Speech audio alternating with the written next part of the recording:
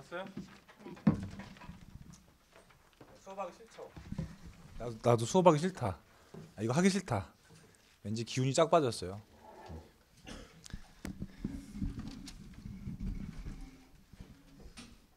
제가 그래서 해설 준비하면서 욕을 한 20번 했어요. 개새끼들이라고.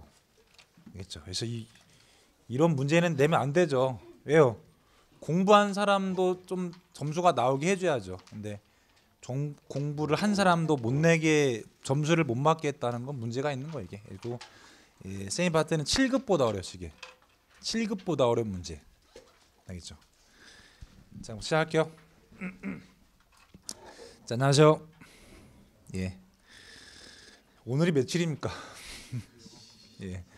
오늘 며칠인지도 모르게끔 정신없는 문제였죠. 그래서 2018년 4월 7일 국가직 뭐 9급 시험이 있었는데 예, 쌤이 원래는 시험 보러 가려고 접수를 했었어요. 근데 못 간 게 정말 다행입니다.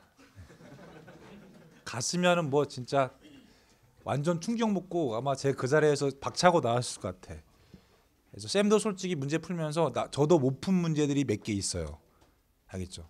그래서 뭐 잘못하면 이거 학생들 뭐 까락도 좀 많이 나왔겠다.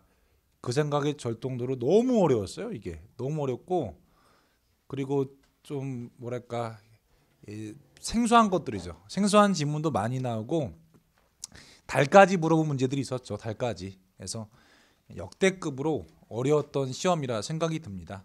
예, 그래서 뭐 잘하든 못하든 예, 점수는 안 나올 것 같습니다. 이게 예, 솔직히 말해서. 예. 뭐 그렇지만 결국에는 뭐 이게 상대평가 아니겠습니까? 상대평가니까 그래도 남들보다 하나 더 맞으면 되는 거예요. 그렇지 않겠어요? 항상 뭐 이렇게 생각을 해야지. 나도 어려우면 뭐 남도 어려운 것이죠. 그래서 제가 봤을 때는 뭐 어려운 거는 어차피 틀리고 그거는 무- 무의미하죠. 틀리고 맞출 것들을 누가 제대로 맞췄는가 있죠? 그 싸움이 될 것 같습니다. 알겠죠? 그래서 쌤도 솔직히 좀 좀 제 입으로 막 이렇게 좀 민망해요. 왜냐하면 이게 너무 어렵게 나와서 좀 민망할 정도로 좀 문제가 좀 그랬다고 좀 얘기를 해주고 싶어요. 그래서 사실은 해설도 하기 싫어요. 예, 너무 이제 민망하니까 쌤도 솔직히 여러분들한테 강의를 하고 여러분들한테 자신감 있게 강의했는데 그렇게 나와줘야 좀 세면이 쓰잖아요. 근데 이렇게 어렵게 나오니까 좀 저도 좀 여러분 학생들 볼 내가 솔직히 잘못한 건 아니잖아. 아니지만 뭔가 좀 책임을 져야 할 그런 이슈에 있잖아요, 쌤도. 그래서 좀 미안하기도 하고 여러분들 뭐 사실 제가 불러 제가 문제를 잘못 이상하게 된 사람들 문제이긴 한데 쌤도 약간 좀 다시 좀 뭐랄까 좀 나쁘기가 어려워요, 여러분들. 그래서 개새끼들. 예. 그렇지만 또 우리가 뭐, 뭐 아직 뭐 지방지 안 끝났죠. 예, 안 끝났으니까 또 어떻게 보면 좀 여기 반면교사로 삼아야겠죠. 삼아서 국사를 더 열심히 할 뭐 계기가 된 것 같아요.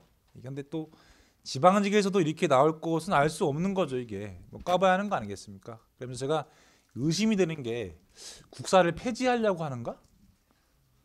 공무원 시험에서 공무원 시험에서 국사를 폐지하기 위해서 명분이 있어야 하잖아요. 명분. 그래서 이, 이렇게 이상하게 내는 거야. 국사가 이상하니까 폐지하겠다.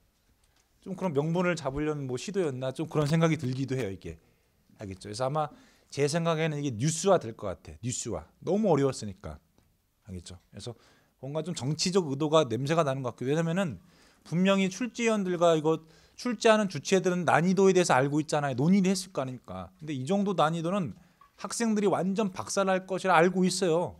그렇지 않습니까? 그럼 이걸 냈다는 것은 제가 봤을 때는 어떤 의도가 있지 않나. 좀 그런 음모론 제기 제기하고 싶네요. 알겠죠? 예. 그럼 가보죠. 자, 그래도 우리가 또 맞춤 문제들은 분명히 있어요. 그래서 제가 봤을 때는 이게 어려운 거랑 쉬운 것이 확실히 딱이 딱 갈렸어 이게. 그래서 어려운 게 반절, 쉬운 게 반절.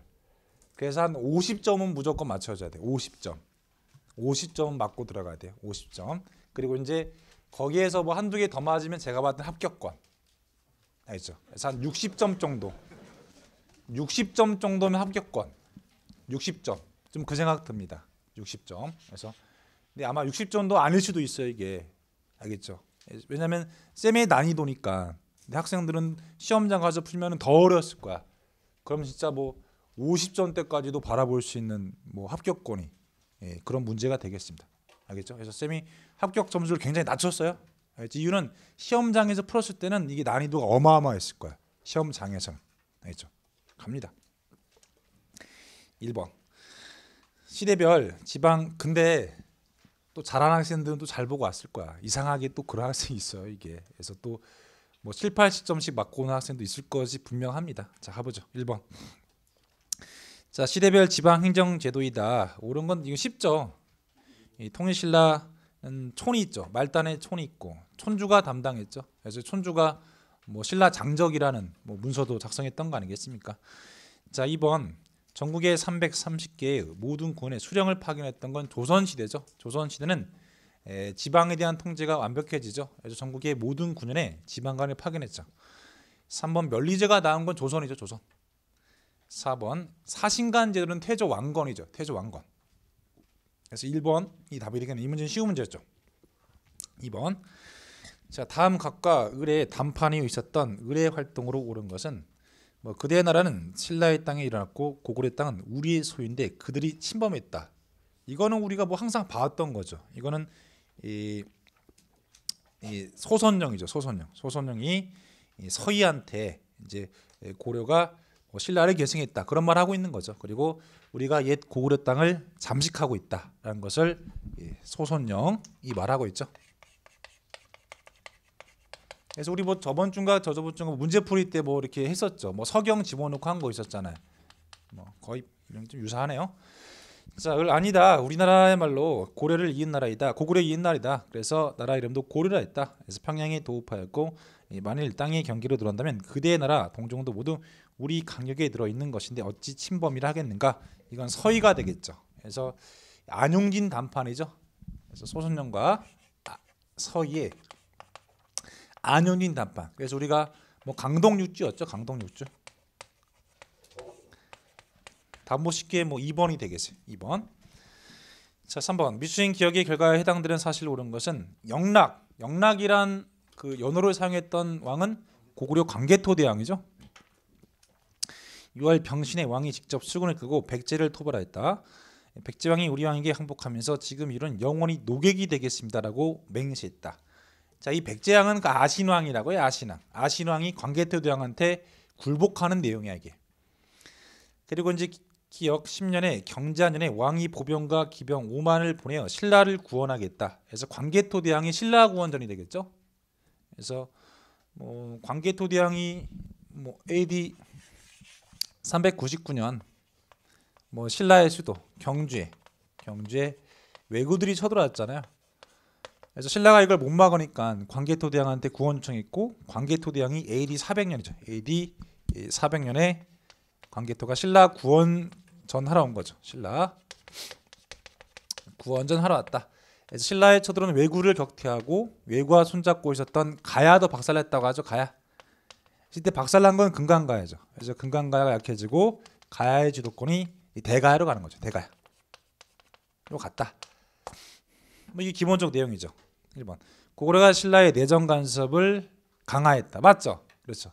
그래서 광개토 대왕이 왜 신라를 도와줬습니까? 우선 백제죠, 백제. 백제를 견제하려고 신라를 도와준 거 아니겠습니까? 그렇죠. 그래서 그리고 이제 이때 이때 고구려 군대죠. 고구려 군대가 신라에 주둔하게 됐다고 하죠. 주둔하게 되면서 내정 간섭했죠. 그 내정 간섭의 예가 뭐죠? 신라의 왕위 계승에 개입했다고 하죠. 그렇죠. 그래서 내무랑 이게 내무랑 때죠. 내물마리간 다음이 실성마리간 그리고 눌지마리간 때죠. 이렇게 이렇게 왕위 계승할 때 고구려가 여기에 관여했다고 하잖아요. 그렇죠. 그래서 답은 1번이 되겠습니다. 1번 왕위 계승 전에 고구려가 개입했습니다. 개입했다. 1번 백제가 고구려의 평양을 공적했던 건 근초광이죠. 근초광. 3번 신라가 관사한성 전투에서 백제 성왕을 살해했다. 이거는 진흥왕. 금강가야가 가야 지역의 중심 세력으로 대됐다. 대가야가 되겠지. 대가야. 틀렸죠. 답은 1번이 되겠습니다. 4번 자 가와나를 주장한 각 인물에 대한 설명으로 옳은 것은 가 우리는 남방반이라도 임시정부 혹은 위원회 같은 것을 조직해서 38도선 이북에서 소련이 철퇴하도록 세계 공로에 호소해야 한다. 이건 누굽니까? 이승만이죠. 이승만. 이승만이 정읍발언한 거죠. 정읍발언. 1946년 이게 음, 6월 달이죠. 6월 달. 이승만이 남한 단독 선거죠.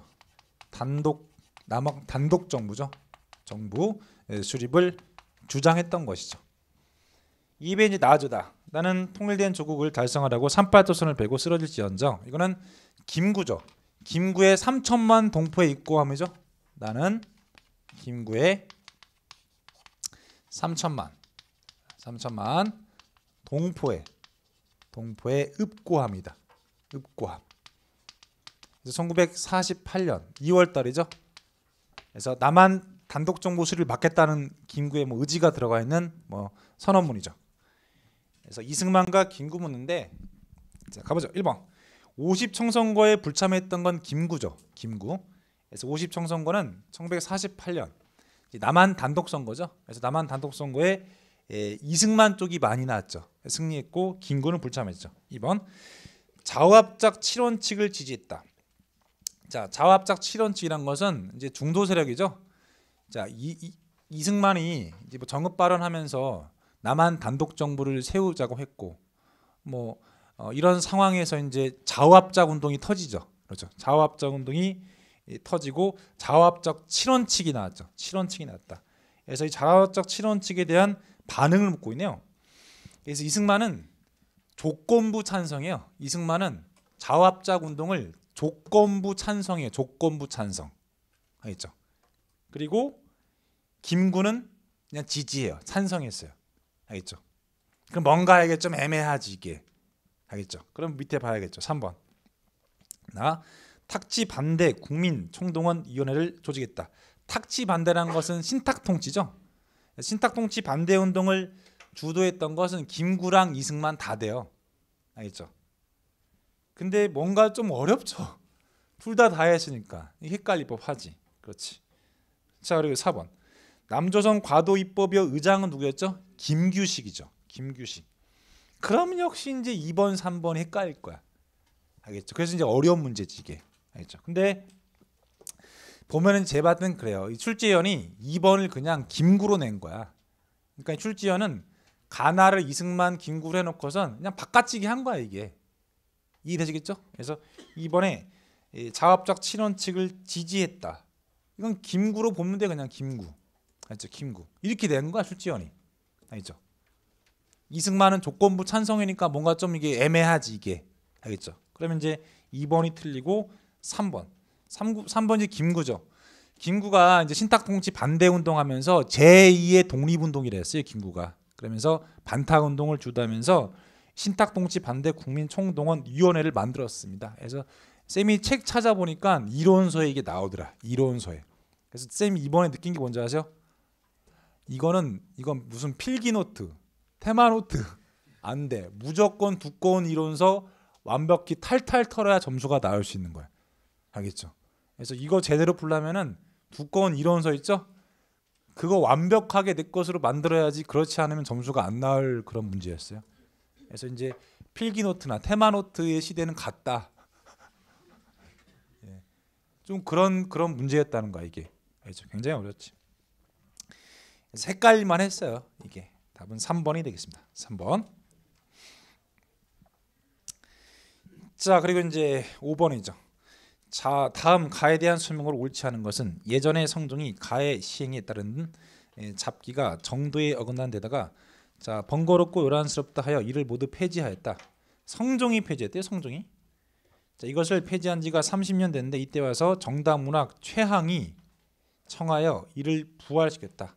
어 최항? 무신 정권 때 최항? 그건 아니겠죠. 그렇죠. 무신 정권 때 최항은 아니겠지. 정당 문학이잖아요. 정당 문학. 정당 문학이라는 것은 이게 뭔가 어 이제 문신 느낌 아니겠습니까? 그래서 그 무신 정권 때 최항이라면은 뭐 최항은 무신 정권 때 뭐 기구들 뭐 교정도감이나 그렇죠. 뭐 그런 기구들이 나와야 돼 이게 알겠죠. 여러분들 우리 고려 중기 때 뭐 최충도 기억나시죠? 최충 알겠죠. 근데 보니까 이거는 이제 그 그 연등이 아니면 팔가네요. 그래서 이 성종 때죠. 성종 때 최승로의 건의로 고려가 이제 유교 국가가 되는 거 아니겠습니까? 그래서 연등회와 팔관회를 폐지시켰죠. 부활된 건 언제죠? 현종 때죠. 현종 때 연등회와 팔관회가 부활돼요. 그럼 이제 이 최양이라는 인물은 아마 그 현종 때 인물일 거야. 현종 때. 알겠죠? 현종 때. 근데 이제 뭐 출제위원이 트릭 치겠지. 뭔가 더 헷갈리게끔 이렇게. 알겠죠? 그러니까 이 출제위원이 정말 뭐 어마어마한 것 같아요. 예. 그래서 파- 연등회 아닌 팔관회야 이게. 연등회 아닌 팔관회. 근데 쌤이 혹시 뭐 수업 시간에 얘기했죠. 연등회 팔관회 나온다면 뭐가 답일 거라 했죠? 팔관회 할 거라 제가 얘기했었죠. 팔관회. 팔관회가 나올 거라고 한 번 얘기 한 번이 아니라 몇 번에 얘기했어요. 어, 팔간에가 나올 거라는 이유는 제가 이제 얘기했지. 올림픽이다. 이게 올림픽이랑 비슷하다. 올림픽 국제 행사다. 국제 행사. 올림픽. 이렇게. 그렇죠. 그래서 팔간의 특징은 뭡니까? 바로 다른 나라의 뭐 상인들도 참여해서 일종, 일종의 국제 행사했다고 하잖아요. 그래서 이게 포인트지. 팔간에. 연등에는 단순한 어때요? 불교 행사지. 지금으로 치면 부처님 오신 날. 알죠? 그리고 팔간에는 이제 이 불교 플러스 도교 아니겠습니까? 도교. 이렇게. 1번. 10조에서 이제 왕건이 어때요? 연등회와 팔간회를 성대히 시행하라고 했죠. 2번. 토속 신에게 제사 드렸던 건 팔간회겠지. 팔간회. 도교가 성, 팔간회가 이 도교조 세체가 있으니까요. 정월 대오르 대보름. 정월 대보름이 이제 1월 15일이죠. 그렇죠? 그러면 이거는 연등회요. 연등회. 팔간회는 이제 시, 뭐 10월 달, 11월 달 이때예요. 알죠? 늦게 하는 거야, 이때. 그래서 연등회는 원래 1월 15일 날 했다가 나중에 2월 15일로 바뀌었어요. 국제 교류회장 8간회가 되겠죠. 그래서 각국의 상인들이 와서 이 8간에 참여했다고 합니다. 그래서 이 문제는 연등의 8간에 비교하는 문제예요. 알겠죠? 그래서 좀 뭐 난이도가 있어요. 근데 3번이네요, 답이. 그래서 보니까 이 사람은 좀 어려운 건 3번으로 많이 했어요. 정답을. 그래서 쌤의 3번 논 있죠? 3번 논이 다시 좀 불안한 것 같기도 해. 알겠죠? 예. 이거 도대체 이거 감 잡을 수가 없어 이게. 알죠? 그래서 8간회가 뭐 나올 것 같긴 했었는데 뭐 출제는 됐습니다. 이게. 자, 6번. 다음과 주장한 대한 설명을 옳은 것은 달의 달은 하나이다. 냇물의 갈래는 만기가 된다. 나는 그 냇물이 세상을 사람들이라는 것을 안다. 빛을 받아 비추어서 어, 드러나는 것은 사람들의 상이다. 달이라는 것은 태극이요. 태극은 나다. 누구죠? 정조. 정조의 만천명월 주인 옹자서죠. 정조가 이제 어때? 만개하천인데 그 만개하천에 발, 밝히고 있는 달이 자기 자신이란 거죠. 그래서 군주권 강화를 보여주고 있는 거죠. 정조죠. 정조. 1번. 해동 농소는 서호수죠. 서호수. 서호수. 그래서 서호수가 편찬한 농사인데 이 정조 때예요. 정조 때. 답은 1번이 돼요. 자, 가빈예송 때 왕권 강조하는 기념복을 주장했다. 그래서 현종 때죠. 현종 때 두 번의 예의송이 있었다. 기예예송, 가빈예송이죠. 자, 왕권을 강조했던 건 이건 남인이죠, 남인. 남인. 뭐 남인 인물 누구 있습니까? 뭐 허적이나 허목, 윤유. 그렇죠. 허씨 윤씨들이지. 허적, 허목, 윤유. 3번 이순신에게 현충이라는 시호를 내리고 강감찬 사당을 건립했다. 야, 어마어마하다. 그렇죠. 숙종, 숙종이 되래 숙종이, 숙종. 4번 민간의 광산 개발을 참여하는 허용하는 설점 소재를 처음 시든 효종 때요. 효종. 이게 책에 보면 효종 때라고 나와요 다. 알겠죠. 그래서 역시 이제 이, 이 출제는 전부 다 시기를 엄청 냈어요. 시기를. 알겠죠. 거의 기본 베이스 문제가 다 시기 문제야. 시기 문제. 알겠죠? 그러니까 이거 꼼꼼하게 어떤 사건이 있으면 전부 다 이거 어느 왕 때인지 연도를 외워야 문제를 풀 수 있다는 거야 이게. 그래서 어려운 거지 이게. 그래서 어떻게 보면 이 문제는 좀 쉽죠. 만약에 이제 3번에 낚였다면은 어려웠을 텐데 그래도 이 해동농서가 정조 때 나왔던 걸 알았으면 뭐 쉽게 풀 수 있었을 거예요. 7번 밑줄 친 국왕의 재위 기간에 있었던 일로 옳은 것은 지금 국왕께서 풍속을 바꾸는 데 예, 뜻이 있으므로 신은 지극히 지극하신 뜻을 받들어 완악한 풍속을 지키고자 합니다. 이륜 행실로 말하면 나왔다. 이거 이륜 행실도죠. 이륜 행실도는 중종 때죠. 중종 때. 중종 때는 살인파들이 중앙정계에 진출했었죠. 살인파들은 강조한 게 자, 장류와 붕우 아니겠습니까? 그게 이륜이지 이륜. 그렇죠. 그래서 중종 때입니다. 중종 때 김한국이 있었죠. 김한국. 그래서 고, 조선 중기를 물어본 거죠. 대개 이제 문다면 조선 초기 국왕 업적을 보는데 조선 중기 때 상황을 물어본 거야 이게. 근데 결국에는 이 문제는 어때요? 이 이륜 행실도라는 책이 어느 왕 때 나왔는지 알아야지. 결국 시기 어느 왕 때 나가 된 거지 이게. 알죠? 뭐 주재붕이 병원동 선을 시했던 건 중종 때죠. 중종 때. 김지습 금호신하 해서 김지습이 이제 개유정난 이후죠. 개유정난 이후- 이후에 이제 뭐 전국을 유람하면서 어, 세조 때 편찬한 거지. 국조 올해의 동국여지 성남은 성종 때죠. 성종 때 편찬된 국가의 을에서 동국여지 성남은 이제 그 지리지죠. 인문 지리지 서거정. 자 문화 지도를 유교시로 갖추기 위해서 집현전 창설은 세종이 되겠죠. 세종. 세종. 답은 1번이 되겠습니다. 1번. 그래서 이 문제는 역시 뭐 그 나온 적이 있어요 이게 출제된 것을 뭐 냈다고 보여집니다. 자, 8번. 자, 다음 법률의 근거에서 실시한 식민지 정책을 옳지 않은 건, 야 이건 대박이지. 예, 이건 진짜 어마어마한 문제요. 예, 그래서 근데 좀 보면 3번입니다. 3번. 한창원 선생님이 3번 논이 좀 이, 내가 내가 3번 논 좀 버렸는데 이 3번 논이 많이 나왔다니까 이게 어려운 문제 3번 논이 알겠죠? 그래서 보니까 국가 총동원령이죠. 국가 총동원법.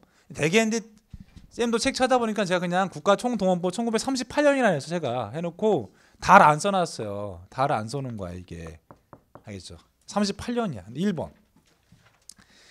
국민징용령이죠. 국민징용령. 근데 쌤이 그 민족말자 통치기 때 사건들 연도 다 외워두라고 했죠. 연도. 연도가 중요하다.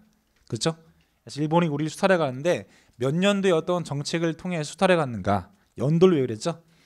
국민징용령은 39년도죠. 39년도. 그리고 40년대부터 대, 본격적으로 징용했죠. 그래서 우리 민족들을 일본의 뭐 탄광이나 군수 공장에 끌고 가서 강제로 노동시켰죠. 39. 2번. 금속류 회수령을 제정해서 주요 군수 물자를 공출했다. 보니까 이 금속류 회수령은 몰라요. 모르는데 공출제가 나오죠. 공출제는 39년이죠. 39년.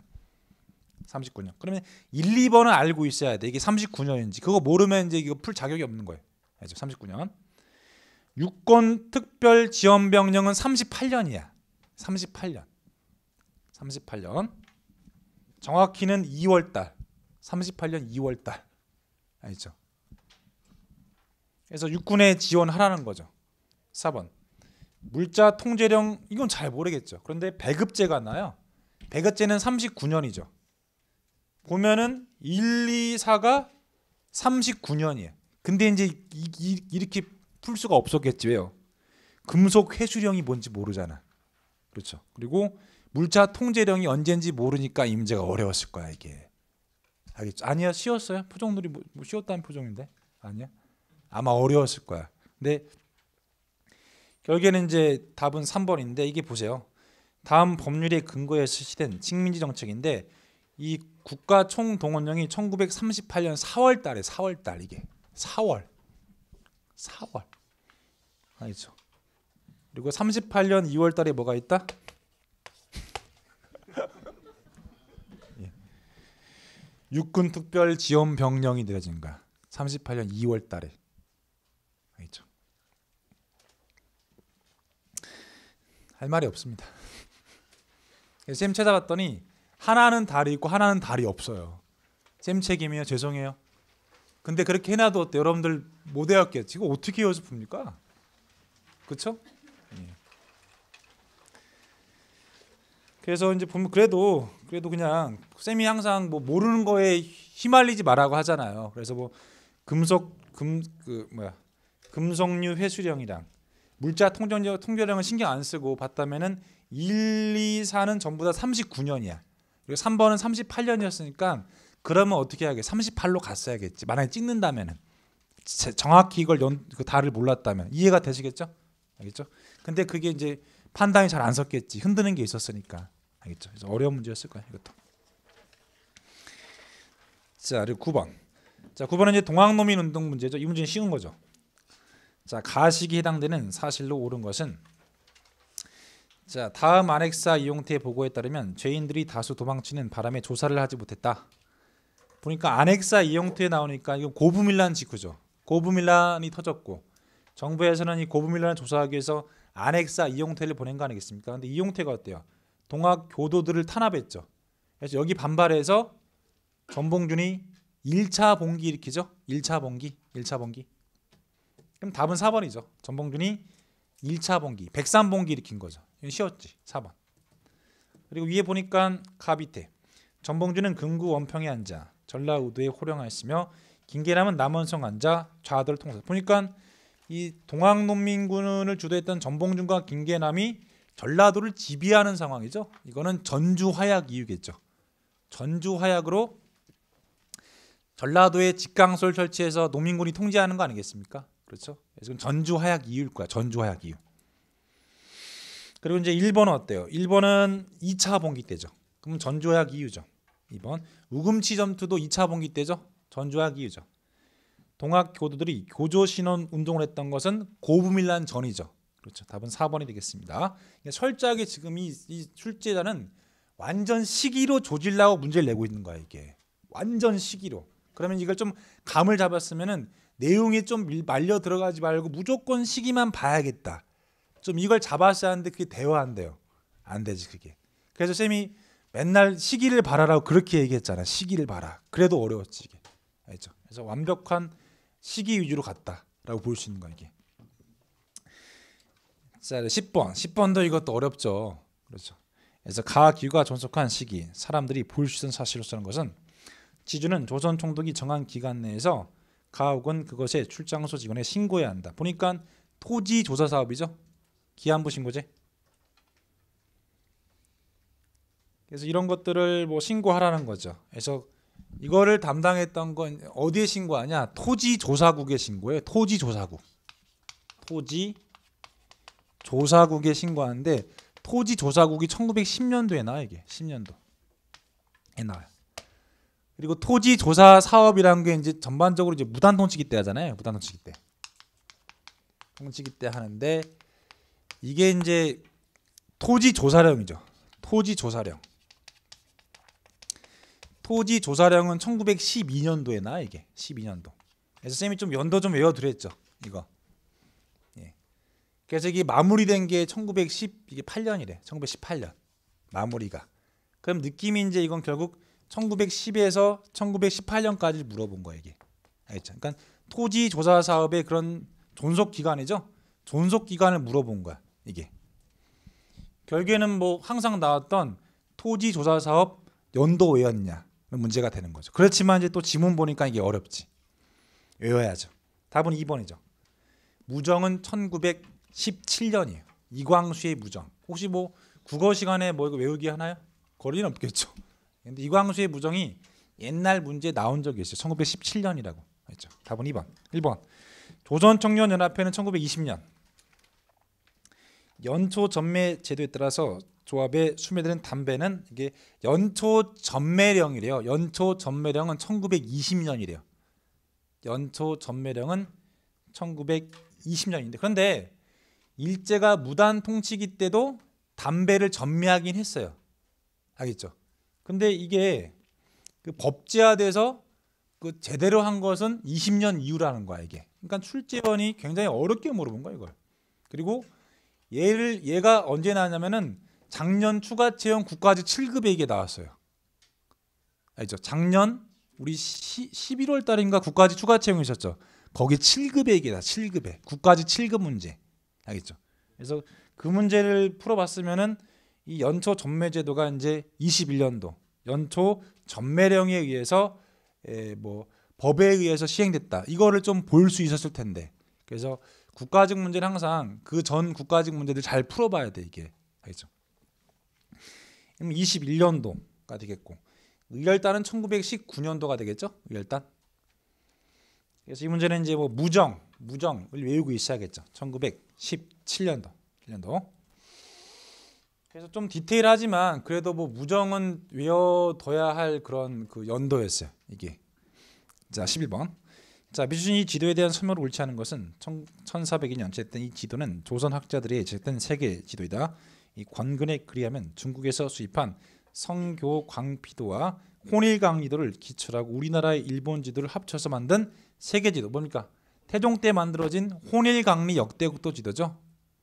이거는 우리 저저번 주인가 서울신가 경찰 순경이 나왔죠. 혼일강리 역대국도 지도가. 자 옳지 않은 건 4번이죠. 백리척 쉽죠. 이 백리척은 영조 때 정상기가 만든 동국지도죠. 정상기 동국지도에서 최초로 백리척 지도를 만들었죠. 답은 4번. 1번 유럽과 아프리카 대륙 그랬죠. 아메리카 대륙이 없죠. 2번 중국 중심이죠. 중국이 엄청 크죠. 3번 자, 이 지도의 작성에는 이슬람 지도학의 영향이 있었겠죠. 그래서 원나라의 세계 지도를 그 모방했다는데 원나라 세계 지도는 이제 원나라가 이슬람 점령했었잖아요. 그러면 그 그게 이제 이 영향을 줬겠지, 이게. 답은 4번이 되겠습니다. 어려운 문제 아니었고요. 자, 12번 역 신문왕 냈네요. 신문왕은 무조건 뭐 단골 문제 아니겠습니까? 그래서 다음 왕이 제2 기간했던 사실 본 것은 김음돌 나왔죠. 김음돌의 난. 김음돌의 난. 답은 2번이죠. 신문왕 때 국학 설치했죠. 유교를 교육했다. 1번. 관료에게 지급하건 노급을 폐지했죠. 노급 폐지. 관료전 지급, 노급 폐지. 3번. 서시 남시는 효소왕, 효소왕. 4번. 사방에 우역 설치했던 것은 지증왕이죠. 지증왕. 그렇죠. 지증왕. 이 문제 쉬운 문제. 자, 13번. 다음은 발해사에 대한 중국과 러시아에 대한 입장이다. 한국사 입장을 어, 한국사 입장에서 이를 반박하는 증거로 적절한 것은 자 소수민족 지역의 분리 독립 의식을 약화시키려고 예, 국가라기보다는 당왕제에 속된 지방 민족 정권으로 보고 있다. 이건 뭡니까? 중국의 동북공정이죠. 중국 애들이 이 만주에 있었던 고구려와 발해사를 자신들의 지방 정권으로 보고 있는 거죠. 자 러시아는 중국 문화보다는 중앙아시아나 남부 시베리아의 경향을 강조하여 러시아 역사에 편입시켰다. 그래서 발해사가 어때요? 우리 민족의 역사가 아니란 거죠. 그럼 이제 우리가 어떻게 대응해야 돼요? 발해가 우리 역사는 증거를 보여줘야겠죠? 그렇죠? 답은 2번이죠. 자, 발해가 고구려를 계승했다 하면 되는 거죠. 그렇죠. 그래서 이 문제는 발해의 고구려 계승 증거를 물어본 거죠. 그럼 이제 우리 역사가 되는 거죠. 이게 답은 2번. 상경에서 우리의 이제 전통적인 그 주거 장치인 온돌이 나왔던 거죠. 온돌. 뭐 신라와 교통로 신라도죠. 뭐 이거는 이제 그 뭐 발해가 신라와 교류했던 증거고. 3번 어, 유학 교육 기관은 주자가면 이제 중국에 영향 받았겠죠. 중국에. 삼성육부도 이제 당이죠. 당. 당에 영향 받았죠. 답은 2번이 되는 쉬운 문제. 자, 14번. 신라의 문무왕이 유언이다. 미추친 기억에서 리을 내용과 부합하지 않는 것은. 야. 이것도 좀 어려운 문제였죠. 그렇죠. 그래서 과인은 아니 목좀 축이자. 자, 우리 목 좀 축이자. 네. 음.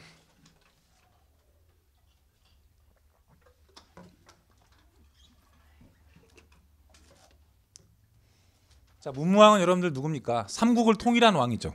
그래서 무열왕, 문무왕, 그다음 신무왕이죠. 그래서 문무왕을 물어봤는데 결국 이제 삼국 통일 과정을 물어본 거야 이게. 그래서 백제 부흥운동 물어본 백제 부흥운동. 그래서 과인은 운수가 어지럽고 전쟁을 하야 하는 때를 만나서 서쪽을 정벌하고 북쪽을 토벌하 영토를 안정시키고 이 배반하는 무리를 토벌하고 협조하는 무리를 불러들여 멀고 가까운 곳을 모두 안정시켰대요. 자, 1번 기억. 백제를 멸망시킨 건 무열왕이죠. 무열왕.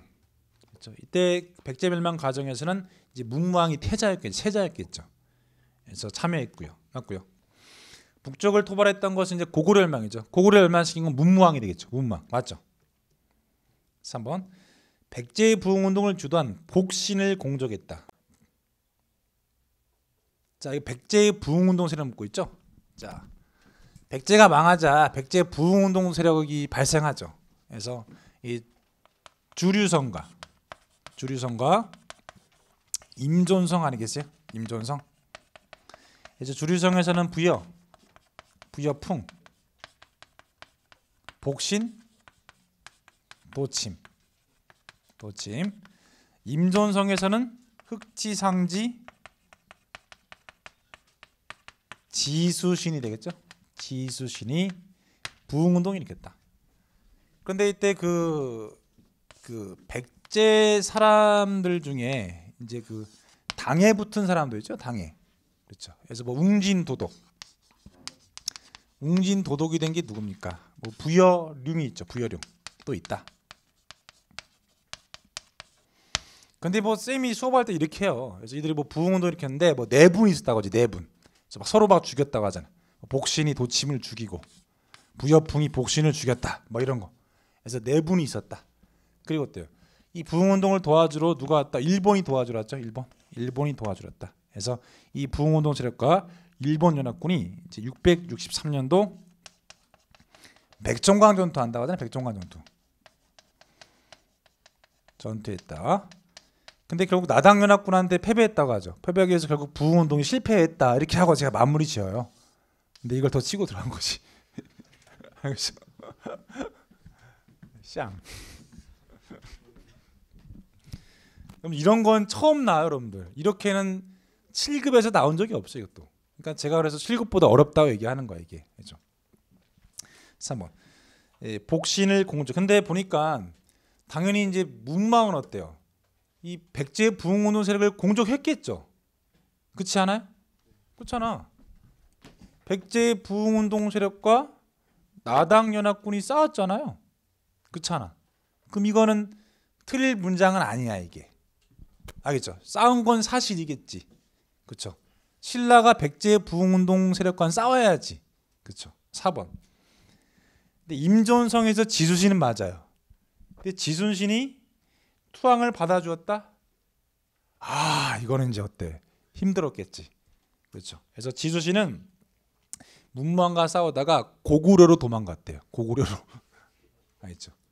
고구려로 투항했대요. 결국에는 3번, 4번 가지고 이제 찍는 거였어 이게.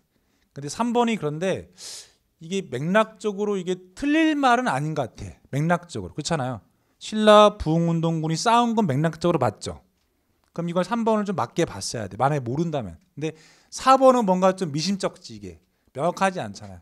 그렇죠. 이렇게 해서 뭐 이제 약간 좀 말장난이었던 거지 이게. 그래서 이 문제는 뭐 어렵다고 제가 얘기를 해야겠다 이거는 풀수 풀기 힘들었던 문제가 되겠어요. 답은 4번입니다.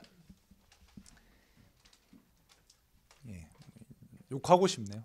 출지연 개색 아니. 예. 예. 4번이 답. 고구려로 투항했다. 고구려. 자, 15번. 자, 다음은 대한제국 시기 설립된 어느 회사에 대한 내용이다. 미춘 이 회사에 대한 설명을 오는 것은 이 회사는 자, 고금은 냉면 50원, 총 1천만 원 발행했고 주당 불입금 5년간 총 10회. 이건 잘 모르겠죠. 이 회사는 국내 진왕지 개간 나왔다.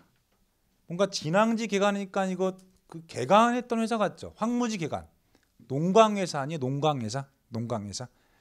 그래서 일본이 우리 황무지 개척권을 요구하니까 농광회사가 1904년 7월 달에 나요. 7월 달에 나와서 우리 스스로 어때요? 황무지를 개척하려고 했던 거죠. 답은 2번이지. 2번. 황무지 개간 요구에 대응해서 설립된 특허 회사였다. 그렇지만 뭐 일본의 반발로 금방 사라졌고요. 일본 외국 상인과 상권 경쟁을 위해서 시전상이 만든 게 뭐죠? 황국중앙총상회죠. 황국중앙총상회. 3번 역동토나 국유 미간지를 약탈하라는 국책에서는 동척이죠. 동척. 동양척식 주식회사. 동척. 에, 종로의 백목전 상인이 주도가 된 직조에서는 종로 직조사. 종로 직조사. 1900년. 답은 뭐 어떻게 좀 쉽죠. 2번. 그래서 여기서 진왕지가 나왔으니까 진왕지 보고 좀 풀었어야 돼. 이게. 자, 16번 어마어마하죠. 답 3번. 3번 논 있죠. 이번에 좀 들어갔어. 지금 보니까 여러분들이 할 문제가 예컨 다섯 개 있으면은 3번이 한 세네 개였어요. 알겠죠? 죄송합니다. 제가 여러분들한테 3번 논을 더 우겼어야 하는데 미안해요. 예. 3번이야. 자, 조선 성리학인데 순서 문제 물어봤어요. 이거 어마어마한 문제입니다, 여러분들. 이거. 그래서 그래도 이제 알 수 있는 게 있어요. 보면은 리는 아마 잘 몰랐을 거야. 리는. 근데 먼저 리. 자 향약 보급 운동과 함께 일상생활의 실천 윤리가 담긴 소학을 중시했던 조광조죠. 조광조는 중종 때죠. 중종 때. 그래서 향약 보급 운동을 주도했고 이제 성리학의 기본 그 기초서였던 소학을 보급을 했던 게 조광조죠. 중종 때. 근데 니는 몰랐을 거야 이걸. 니는. 근데 기를 강조하니까 우리 기를 강조한 건 떠오른 게 누굽니까? 서경덕이랑 기대승이죠. 서경덕, 기대승 그렇죠? 기 강조한 거 기. 몰라요? 기 강조한 사람 학자? 야, 이 정도 알아야 하는데 그래서 이왕 있고 이- 이의가 있잖아 이의가. 근데 이왕이 이제 뭐 그 기대승이란 뭐 하죠? 기대승이랑 사단 칠정론 하잖아. 사단 칠정론. 사단 칠정론 하고 그리고 나중에 이제 뭐 이가 여기 꼽사리 꼈다고 하잖아요. 그렇죠. 그리고 이왕이 이보다 더 나이가 많다고 했죠. 선배, 선배, 선배, 선배고. 그리고 이제 이한테 영향을 준 건 서경덕이요. 서경덕, 서경덕. 그래서 이왕이 주리론이 주리론, 주리론. 이가 주기론이죠, 주기론. 그래서 기를 강조했던 건 이쪽이지. 리를 강조는 이쪽이지. 그렇죠. 이. 여기 이제 이 서경덕 이제 이가 되는 거지. 이. 그리고 이왕한테 영향을 준 건 이현적이라죠. 이현적. 이현적. 이현적. 그리고 이제 그 위에 뭐 이제 조광조가 저 위에 있는 거 조광조. 조광조가 있고 중종 때 있고요. 그리고 이제 니는 서경덕이요. 서경덕. 기를 강조했다. 기. 기. 기를 강조했다.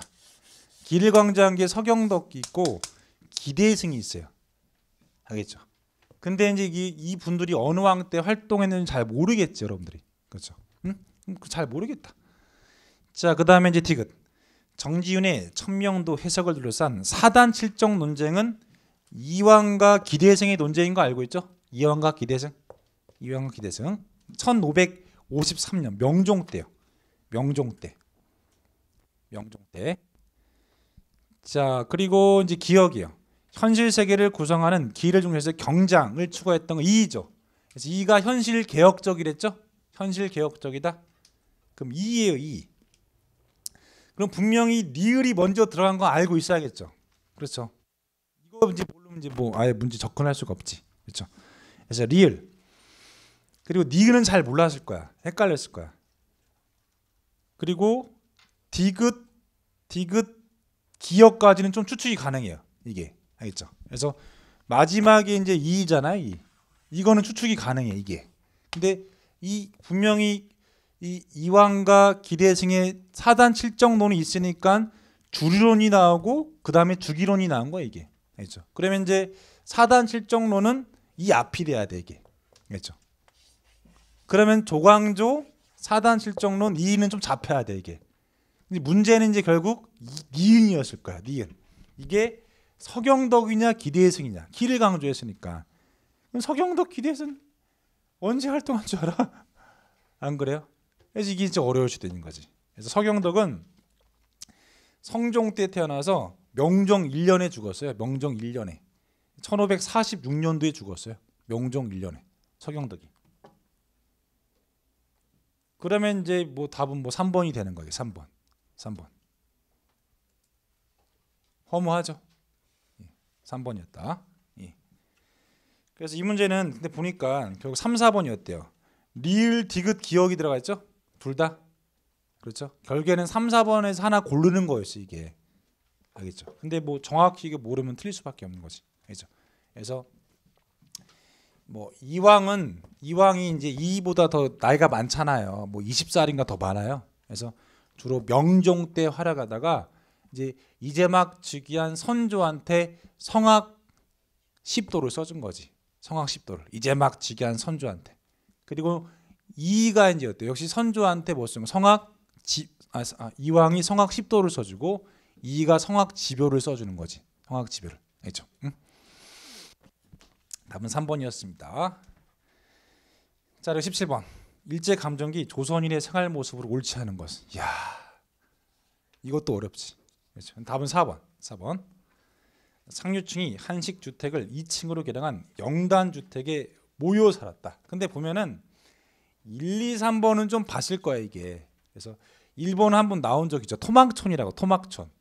그렇죠. 그래서 일제 시대에 일제 시대에도 어때요? 사냥에 사람들이 막 몰려든 거야. 그래서 빈민들은 거주할 곳이 없어서 토막촌 짓고 살았어요. 토막촌. 그래서 이게 7급이 한 번 나왔었어요. 그리고 쌤이 그때 뭐 야인 시대 얘기했지. 야인 시대 보면은 그 거지왕 김춘삼 알아요? 걔네들이 토막촌 살거든 이게 일제 시대. 그래서 쌤이 야인 그래서 야인 시대 막 보라고 한 거야. 알죠? 2번. 문화통치기 때 모던걸과 모던보이가 그 활동했죠. 맞죠? 문화통치기 때. 3번. 이제 민족말자 통치기 때 여성들을 노동에 동원시키기 위해서 근로 보국대에 동원시키기 위해서 몸빼바지 폈다고 하죠. 그러면 이제 2, 3번은 분명히 알아야 되고 이제 1번 아니면 4번이었을 거야. 4번. 근데 만약에 1번에서 예컨대 토막촌이 혹시 도시 내부에 있나? 아 이랬으면 미쳤겠지 이게. 알겠죠? 어려운 문제가 되는 거지 이게. 4번에 보인 영단 주택은 일본에서 서민 계급의 주택 문제를 해결하려고 만든 거예요. 일본에서 서민들 위해서 만든 서민 서민들. 상류층이 아니었던 거 이게. 그리고 이제 민 그리고 이제 전시 체제에서 병참 기지화 정책하면서 노동자들이죠. 군수 공장에서 일하고 있는 가난한 노동자를 위해서 또 이 집을 만들었다고 합니다. 알죠? 그래서 이 영단 주택은 일본을 모방해서 만든 거야. 서민들, 노동자들 위해서 상류층이 한식 주택을 2층으로 개량한 영단 주택에 보여서 굉장히 어렵죠, 이건. 그렇죠? 답은 4번이다. 4번. 자, 18번.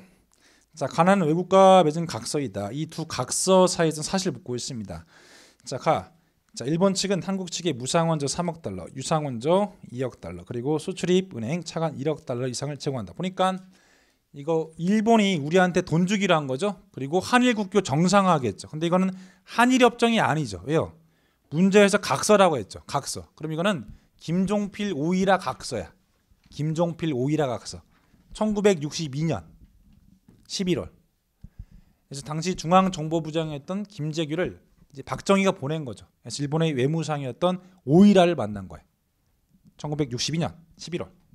나 자, 미국 정부가 한국과 약속했던 1억 5천만 달러 규모의 차관 공여와 더불어 한국의 경제 발전 한 AID 차관 지원. 이거는 브라운 각서죠. 미국 공사였던 브라운이 우리에게 병력을 베트남에 더 보내주면은 이것저것 챙겨주겠다 한 거죠. 1966년이죠. 66년.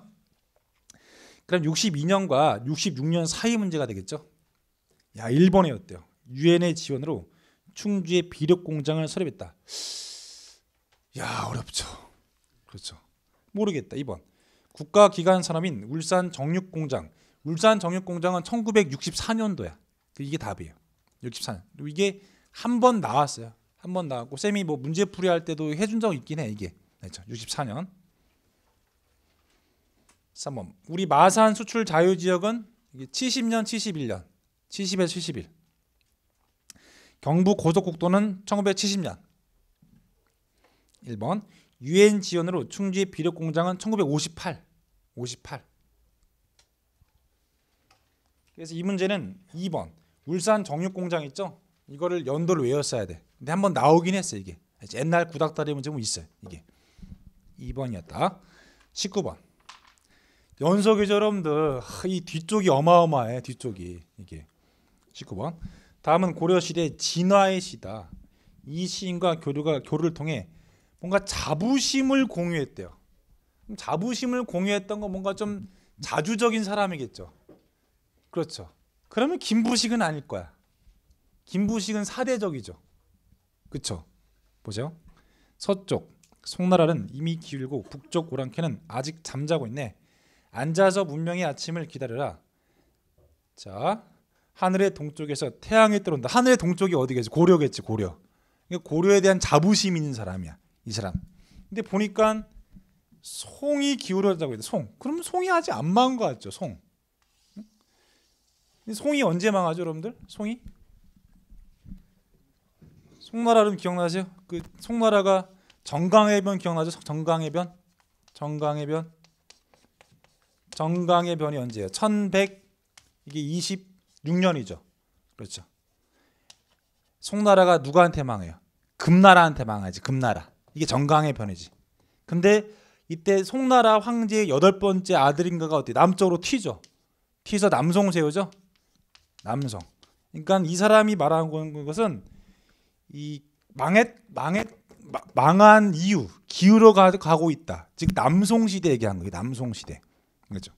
남송 시대. 근데 1번 김부식은 어때요? 송나라 망하기 전에 갔어. 알죠? 김부식은 송나라 망하기 전에 갔지. 그러니까 남송 이전의 시대 간 거예요. 그럼 김부식은 아니야. 알죠? 그리고 북쪽의 오랑캐는 아직 잠자고 있다. 북쪽의 오랑캐라는 것은 아마 뭐 그 금나라 아니면 뭐 몽골을 뭐 의미할 수도 있겠지. 그렇죠.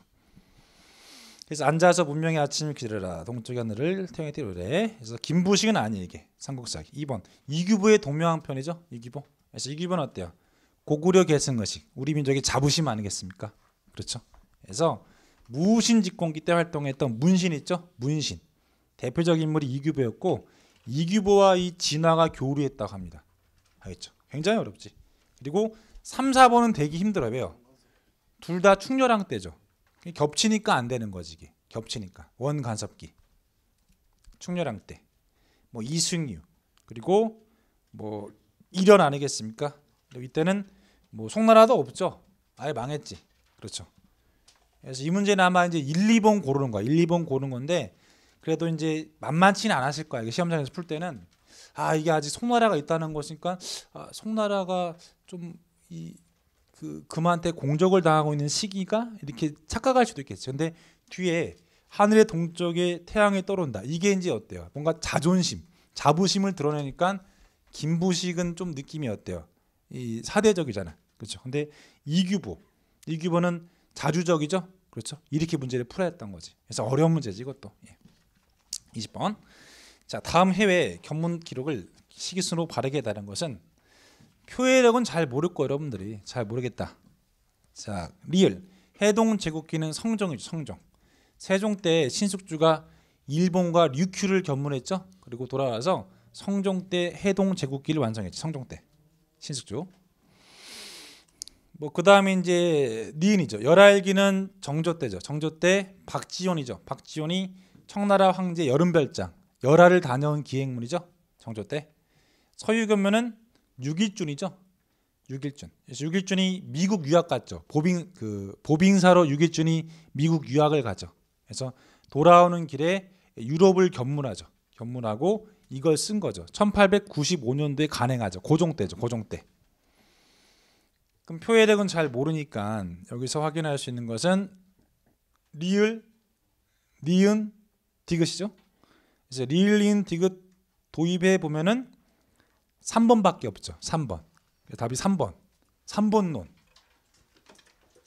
알겠죠? 그래서 보니까 많은 어려운 문제가 3번이었다. 약간 느낌이. 예.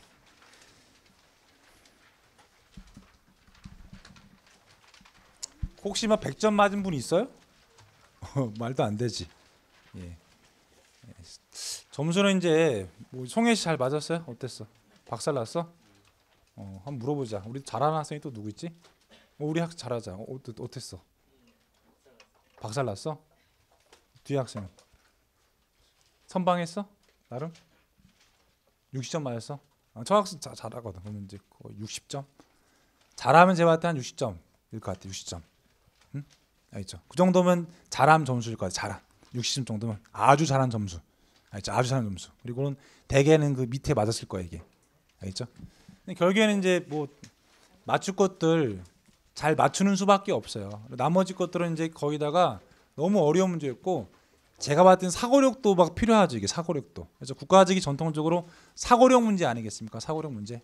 그래서 어려웠는데 너무 어렵게 나온 것 같습니다. 그래서 어, 역시 이제 문제를 뭐 지방직에 대비한다면은 연도 위주죠. 연도 위주로 공부할 수밖에 없다는 거야 이게.